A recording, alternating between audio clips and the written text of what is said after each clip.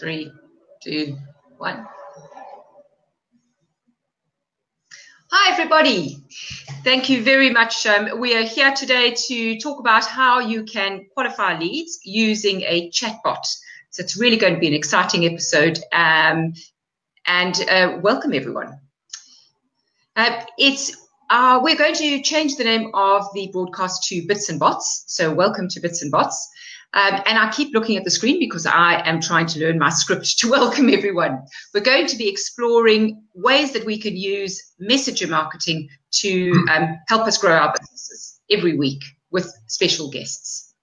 Uh, so, hi to the viewers. I see Declan's online. Thank you very much for joining us, Declan. Always great to see you. Um, and um, what I'd like to ask everybody is whoever's here, if uh, could just comment below to tell us what sort of business you're in. That would be really helpful. And it also gets you the opportunity to talk to each other. So put a comment below and let us know. And we can share those as we go. And also, um, I'd like to ask you to share our um, our live chats with your friends. I know Declan did that today. So, so appreciated, Declan. Thanks a million. And that's the way we can grow.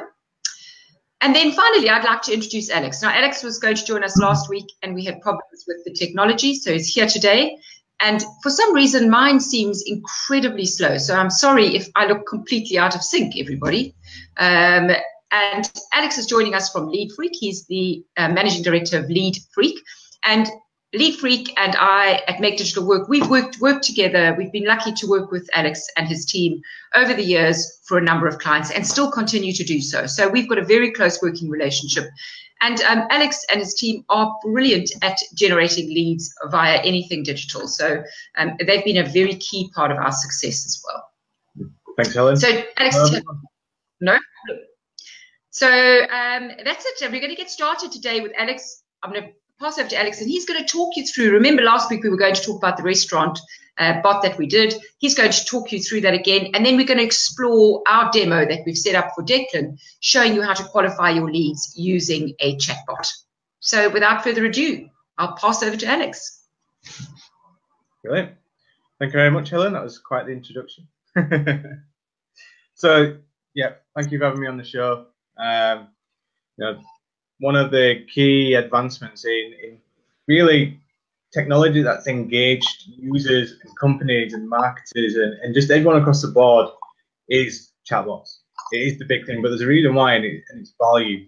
And actually the results that we can get from from having these chatbots in place. So I want to talk to you about the um, the bot that we set up for a restaurant chain that we've been working with. Um, I'll just give you a bit of background. This is an annual competition that this restaurant runs, and it's it's the chance to have your own creation, your own food item added into their menu for the next 12 months. The winners also receive for them and their nine friends or nine of their friends to go to their restaurant for a slap up meal with lots of drinks. You know, just a really great experience. But getting people to engage in this kind of competition is quite tough. So the original way that they had this set up was to have people go to their website to click on a specific page. They ran through the rules and what you need to do to enter this competition, and then you had to email your entry to, to the restaurant, which for me is a very Gosh. convoluted way to to receive an entry to a competition. Let's put a, a food item on the table. It's a burger design competition. So you're going to have to be quite the burger enthusiast to go to all that effort to enter this competition. Uh, within three weeks, they'd had three to four entries. They'd put a little bit of money behind it on Facebook. That's predominantly who they were targeting. But yet, they'd only had three to four entries of their flagship competition. So, me and Helen, we we racked our brains and said we can we can do better than this. Uh, and the answer was was obvious let's take the the entry system to the platform that their users are on, which is Facebook. And we can do that by creating this chatbot. So this chatbot is it's still one of my favorite things that we've done. Uh, basically, on entering the competition through a Facebook chat message, you go into the chatbot function And this chatbot transports you into the kitchen of this restaurant. We had content, uh, images, sound, videos from the restaurants themselves showcased in the bot. So you really felt like you were there. The conversational language that we were using was almost was designed so that you were talking to the chef. And the chef is running through what he needs you to do. You could then engage with this conversation to find out the rules, to find out what the prize was for the competition and how, how to enter. And as soon as you were ready to go, you clicked into a sequence in this bot which ran you through the entry. So using images again, we were able to inspire the people who were entering the competition to to choose ingredients that they might want to put into this burger, and they could put anything they wanted. And the chat sequence then asked them over a repetitive sequence of say 10 times because that was the maximum number of ingredients what ingredient they would like to enter what ingredient they would like to have in their burger. Now after two the person could escape this sequence if they would finish designing their burger and then it would go into a data capture collection sequence where we would look to gather emails um, and any other information the restaurant used uh, and then finish the conversation. We backed that up with sequences when the competition was finalised throughout that period of time to keep those people engaged. So we had a really quite comprehensive yeah. sequence within that. Um, and it was just a real joy to run through that sequence as a user. And the results showed it itself. So, you know, from the three to four that they got through email in the same amount of time, we ran this for an extra two weeks. Uh, we put the same amount of money in on Facebook to push it.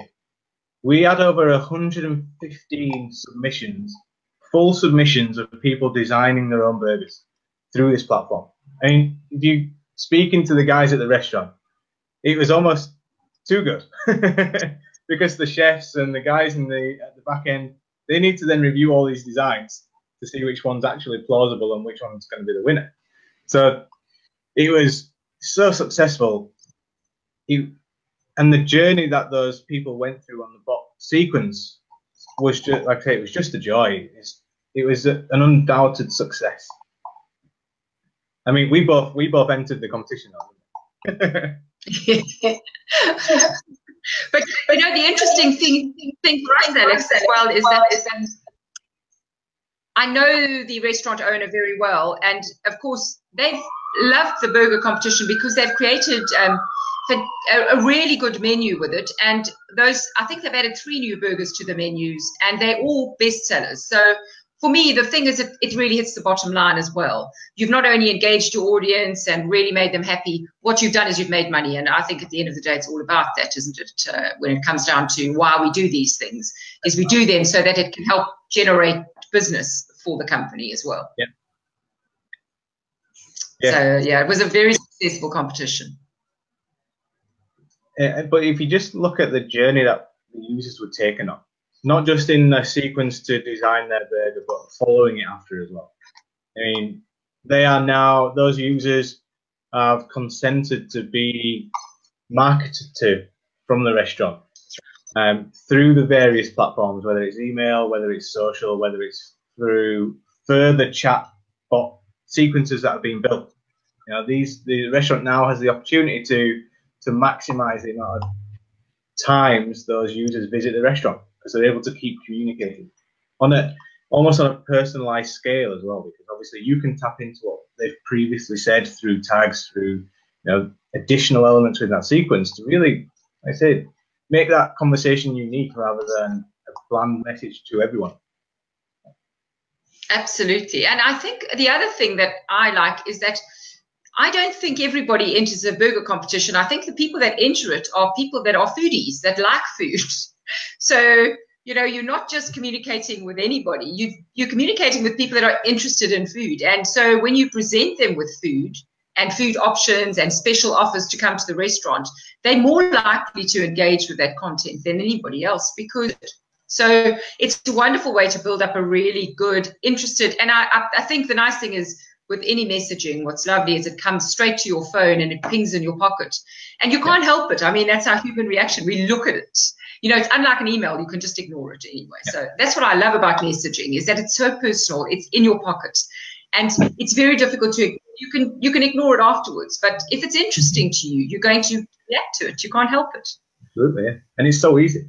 And so another aspect of the campaign which I believe made it so successful was you know, given Facebook's targeting capabilities, we were really able to identify the almost like the higher spenders, the, the real perfect client of the restaurant that we know is going to go again and again and again. Because I mean, you look at some stats around restaurant success, and they say a customer needs to visit a restaurant at least four times before they then become a loyal customer. We, we're yeah. adding, we're facilitating that journey for the customer by by making their experience with the chain you know, better, innovative, uh, fun, and creative. And who yes, I agree with you. Having your burger. Creating a relationship. yeah, sorry, Alex, I interrupted you. I said you you're creating that wonderful relationship. You're having fun with it. You know, it just it's not just yeah, it, it doesn't feel one dimensional that uh, that relationship. It feels it feels so much deeper than that when when you're talking to the restaurant through a through a chatbot. I, I'm amazed at how personal chat feels if you do it right. Yeah. I mean, I've seen some that that get it wrong because they they don't spend some time on it. But I think we did a great, a really good job, even if I say so myself. Yeah, and the and the thing is, the infrastructure is there for next time. For the next, when the competition runs again, the infrastructure is still there. Exactly. they don't start from scratch. That's brilliant. Thanks very much.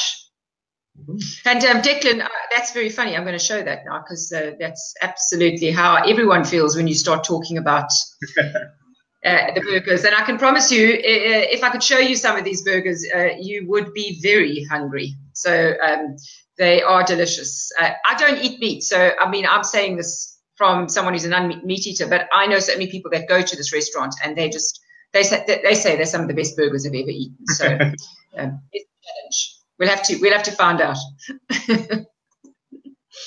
um, so thanks, Alex. That, has been really interesting, and I, I, it's nice for you to be here as well now, so that I can. Um, I want to run through one of the bots that we are we trying to build for Declan, just to um, show him how um, we can use uh, a bot to qualify. But Declan is in multi-level marketing, and he's also a coach. And I've known Declan for a long time, and uh, Declan is one of our favorite people. He's an incredibly motivated person and a very motivating man. I, I've worked with him before, and I have loved every minute that I did. It's the only Emily and uh, Declan my favorite people.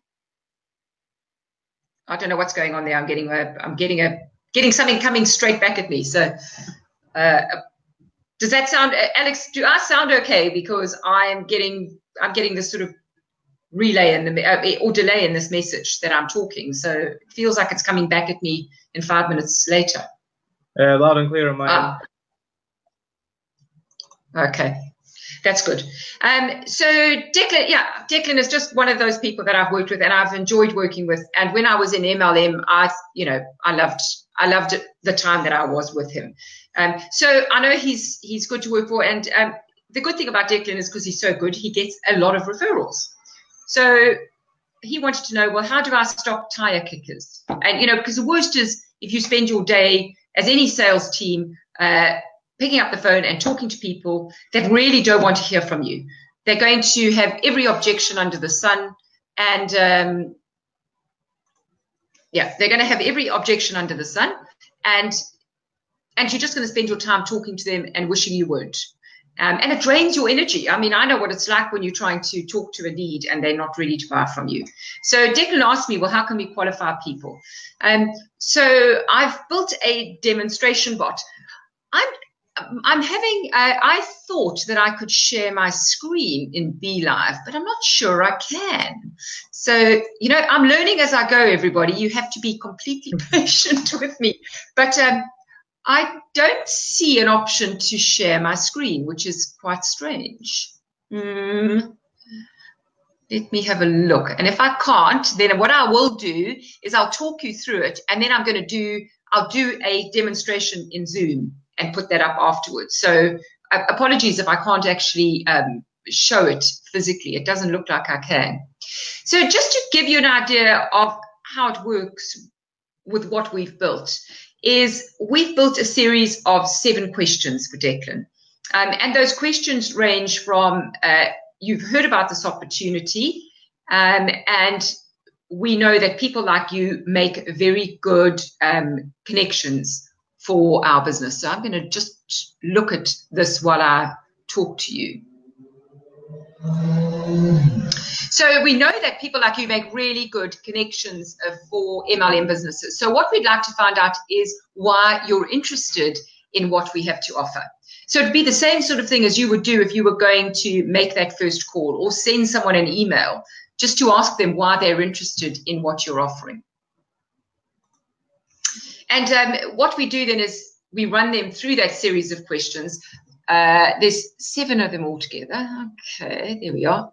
I can bring mine up now. So I can't unfortunately bring up the screen, but what I can do is I can run through the questions so that I don't, I'm not making them up as I go. Um, and then I'm going to tell you how we go about qualifying them so that we actually score them for you. So the only leads that you'll end up dealing with are leads that are ready to buy. Are they hot leads? And the other the other way that we um, then keep in touch is we the people that are cold leads we put them into a nurture series. So of course you don't want to lose people that aren't ready right now, and we all know that. So the first question we ask them is. Um, we, we put their name in and we say, Hi, Helen. Um, um, I'm, I'm interested to hear a little bit, you're interested in hearing a little bit more about the opportunities in our fast growing wearable tech industry. And that's what uh, industry Declan's in. He's in uh, technology, uh, clothing technology industry. I think it's smartwatches and smart technology that can actually tell you your blood pressure and all kinds of things. It's absolutely amazing stuff. So you can stay healthy. And um, it's ideal for, and the next part of the message we talk about is it's ideal for switched on entrepreneurial people just like yourself who are looking for ways to earn extra income. So, do you think this opportunity sounds right for you? And if they say yes, we then take them into a sequence. At this stage, if somebody doesn't answer us, we're not really going to take them into a sequence at all. We are going to then disqualify them and take them out completely because I think if someone doesn't even bother to answer the first question, um, they're definitely not the right people for you. So um, then we take them in. The next, the next thing we say is, well, that's that's fantastic to hear. And we put their first name in and we let them, at this stage, we always let people know if they want to unsubscribe. We've put a rule into the chat to say if someone's ever pressed uh, type stop, they will be unsubscribed from your bot. And that is really important. And I think this is why technology or messaging marketing technology really works for me is because you've got the power in your own hands. You can quickly say, no, I don't want to hear from this company anymore. And that's it. It, it stops it. Um, and it's not like email. It's not difficult. They just press stop or they type and stop and um, all is done. And they won't hear from you again.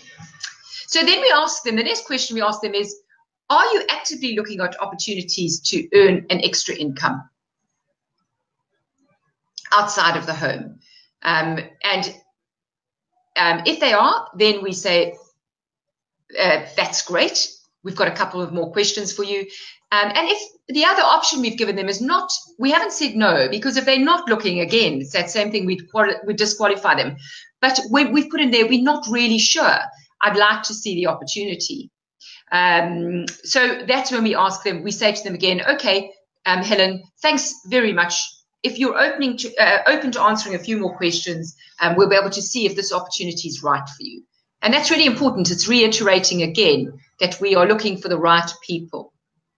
And then we ask them their first name again, and I mean, we address them by their first name again. So we go, Helen, why are you interested in starting a home business um, or making money from home on the side? Um, and with MLM, that's often the case. You're either looking at another business or you're looking for an opportunity to make some extra money.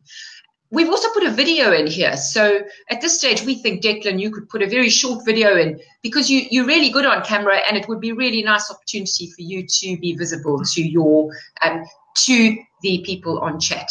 Yeah. Helen, um, just one and, yeah, please. Thanks. I love, I love that bit. The fact that you're going right back to the re- their reason why they might be interested in this kind of opportunity.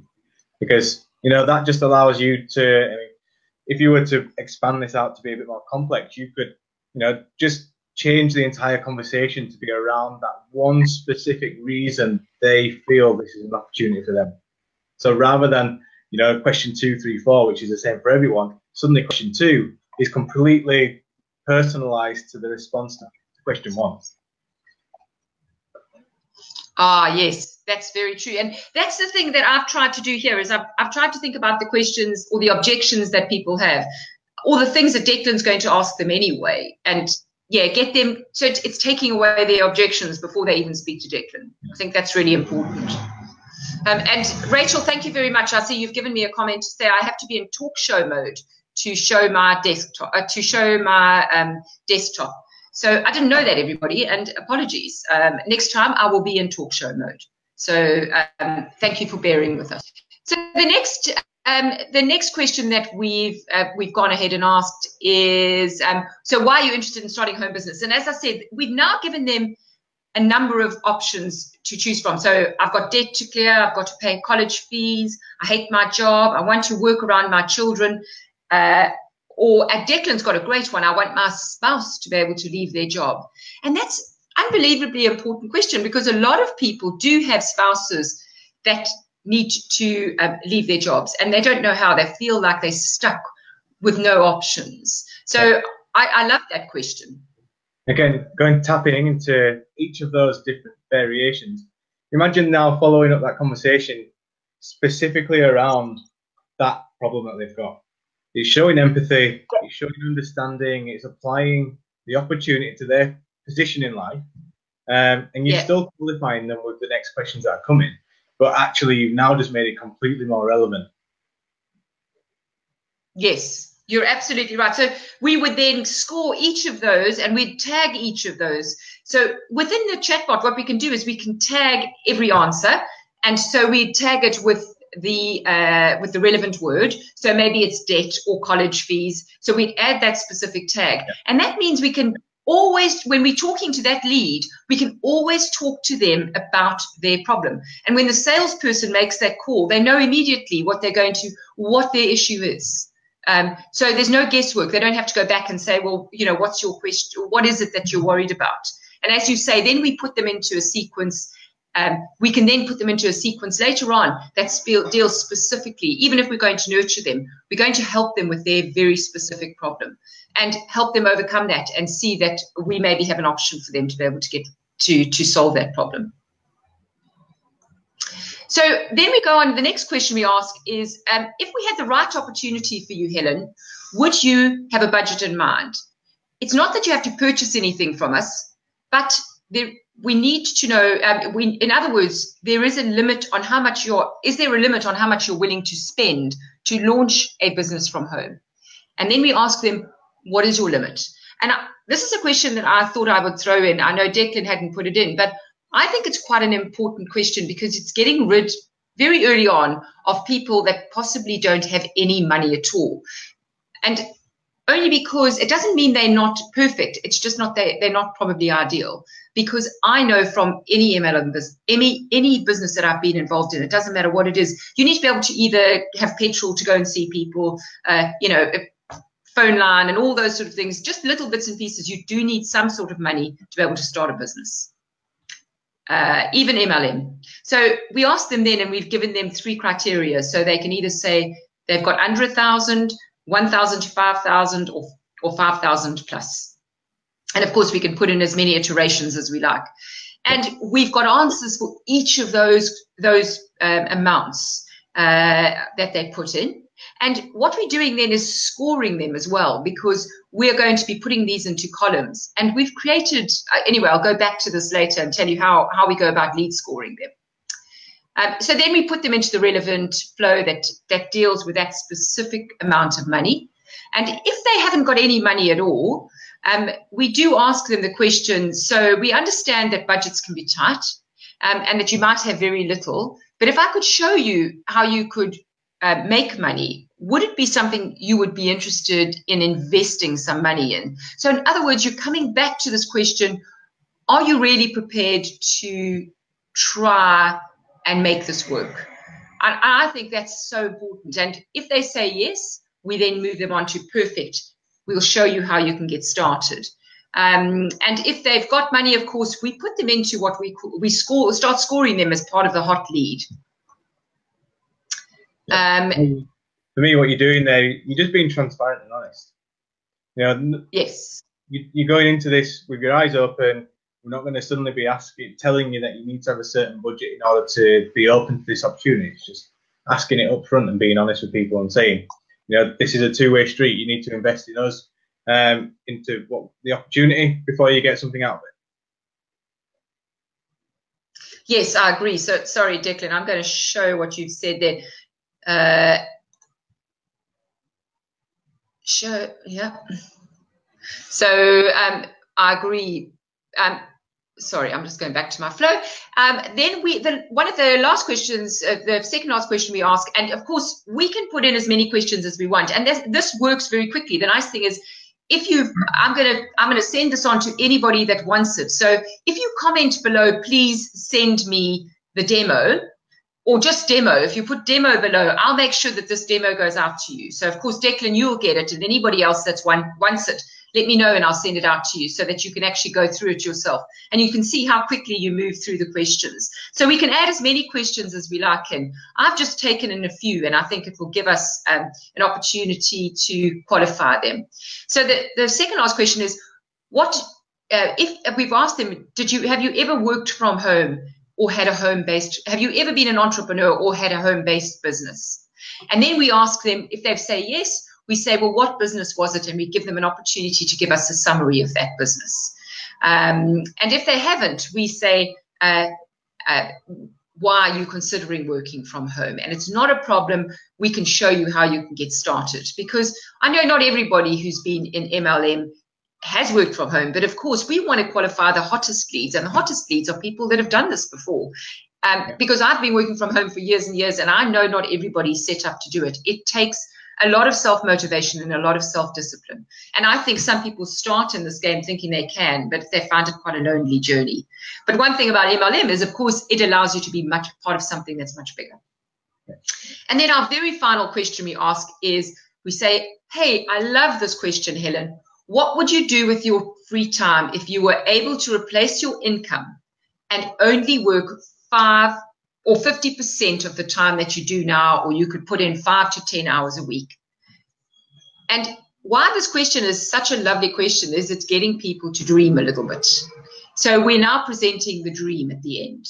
And we are giving people the opportunity to say, that will never happen. Um, you know, what are you trying to sell me? Is it a pyramid scheme? What we want to do is we want to get people um, to really start showing their hand and showing us their biggest fear about MLM, so that you can you can deal with this when you get on the phone to them.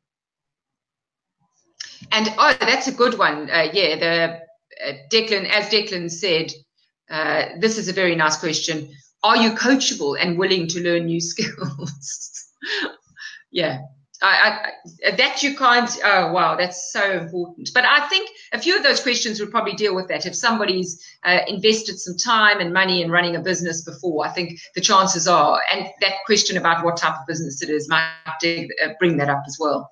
What we've done is we've with the chatbot, what we're able to do. I, I'm sorry, it's so complicated to explain, and I'm trying to make it as simple as possible. But what we're able to do is take a product called Zapier and a Google Sheet. So Google Sheet is just like a, an Excel sheet, and we put the columns in there, name, uh, surname, their Facebook ID as well, which is really important because it's a great thing to know about that person. And then, of course, you've got another column that's got their email address, and Facebook pulls us out automatically. And with Zapier, we're able to populate spreadsheet automatically. So it's not you going and having to put a name in afterwards. This is done automatically. And then after that, we've got all the questions we've asked in each column. And each of those, we put a li- we put a little um, we put a zap in for each of them, and it pulls the information. And as soon as someone gives you that information, it pulls it into the spreadsheet against their name. And then we're able to put a little equation in or a little uh, a little workout in. You can hear me. I'm a spreadsheet queen. You're able to put a little equation in there uh, into the spreadsheet, and we're able to say if they say this, this is the score for that answer. So by the end, you then got a column that says hot, medium, and cold leads. And anybody with a certain score gets put into the hot column. And we've then got a very simple zap that immediately sends Declan a text that says, Declan, get on live right now. You need to talk to this hot lead. Because if you can talk to someone within five minutes of them finishing this, I think it's something like a 40% higher conversion rate than if you speak to someone half an hour later. Yeah. So we know that this can work. And there you go. 24 hours later, you've not got anything. Yeah, and I mean Declan knows that probably from live, from talking to people, um, even on the phone. So, but the wonderful thing, this is really live, and it allows you to be to get on straight away. And then people that are then medium leads, so they lukewarm. What we'd say to them is we'd put them straight into a flow, and we'd automate the whole process that says, "Hey, book an appointment to do a call with Declan and we'd send them some information so that they've got the information before Declan jumps on that call with them, all about the business and make sure that they read it. And then they can book in Declan's calendar exactly what time and date they want that call to happen. And then if someone's a cold lead, in other words, they're really not ready, what you could do is put them into a flow to do something like we're doing today, where it's a Facebook Live or to join a webinar later, or just to send them some information about their pain points because we've collected that information. So now we can put them into something that nurtures them. If it's because the person wants to help their spouse leave their job, imagine if we could help them with information to help them do that. So um, that's really how the whole thing works. And it's it's quite complicated, but it's a beautiful lead scoring system. And by the end, all you're dealing with is the 10% of really hot leads. You're dealing with them straight away, and the others are going into a system that you can deal with them when you're ready. Does that make sense to everybody? yeah, absolutely makes sense. Um, a couple of points from me, Helen. So one of the issues of, of lead scoring and certainly around trying to automate that process is, you know, asking qualitative open questions where people are free to enter the information that they want. You, you to make it as easy as possible, you have to try and restrict the answers that they give. But obviously, you don't want to lead people's answers. Now, a great way that we've got around that is actually is applying a scaled answer every time. So the question would be out on a scale of one to five, where do you sit? And the question can be yes. whatever it is but at least one that initially gives you a numerical um, result, but it also shows you how motivated the user is. So it's easier both ways. Yes. And what you can do then is as well, and I'm sure Declan's got some insights based on his experience in this, is you can start to apply personality based questions into the scaled model. Because it's not just a case of saying, how financially fit and how financially willing are you to to take this opportunity, Declan's able to then, you know, look at the coaching and new skills. He the yeah. question can be on a scale of one to five. Um, how enthusiastic are you about learning new skills? Or you know, some other wording around that, but at least it gives a, a more personal representative of what that answer might be for the for the user, and they're able to apply it on a scale that they're comfortable with. So you don't tell them what five is, other than it's good or very much. Um, number one, which is the bot, so they can gauge themselves yeah. where they fit on the scale rather than just say it's either yes or no. You're a yes or no person. So that that then fits into the lead scoring mechanism to sheets um, and giving nice. you giving you the answer and, and like I said, fitting into that system. Lovely. I really, I think that's wonderful. That's really nice. And I hadn't actually thought about that, but I think that's a really nice solution. As you say, it's even, it's refining it even more. Um, and it's really, and this is all, the wonderful thing is that uh, it, it then populates this whole spreadsheet and we can build a spreadsheet as big as you want. Um, and all it does at the end, because we found that with clients, is that they don't want to know all the scores. They're not really all that. If someone might, I mean, Declan's quite an analytical guy, so he might want to go back just like you are, Alex. He'd want to go back and probably look at all the figures. And but I know a lot of people that just say, look, I just want to know how many hot leads I've got, how many medium, and then the cold, just let them carry on and, and be nurtured. So it's a wonderful thing if we can just present them with their sales team with a little ping in their pocket, an SMS that says, "Hey, hey, John, get on the phone." Or get on, or get on live right now. Someone needs to talk to you and that that's all they need to all they want to know is how many hot leads can you bring in. So i want i think it's lovely the the more we can iterate those leads so that we can really qualify them. I, I, I like that thinking yeah. Yeah. Same with um same with the warm leads where we're looking to you know book into someone's calendar because you can automate that process now. So you can pull that yes. into the cart. So actually take declan's calendar. Um, he can have certain timeframes available where he's able to talk to these people and he doesn't need to go back and forth with that conversation, but he, he facilitates them booking a call into his calendar at a time um, convenient for Declan, and that can fit into into that chat sequence as well. Fantastic.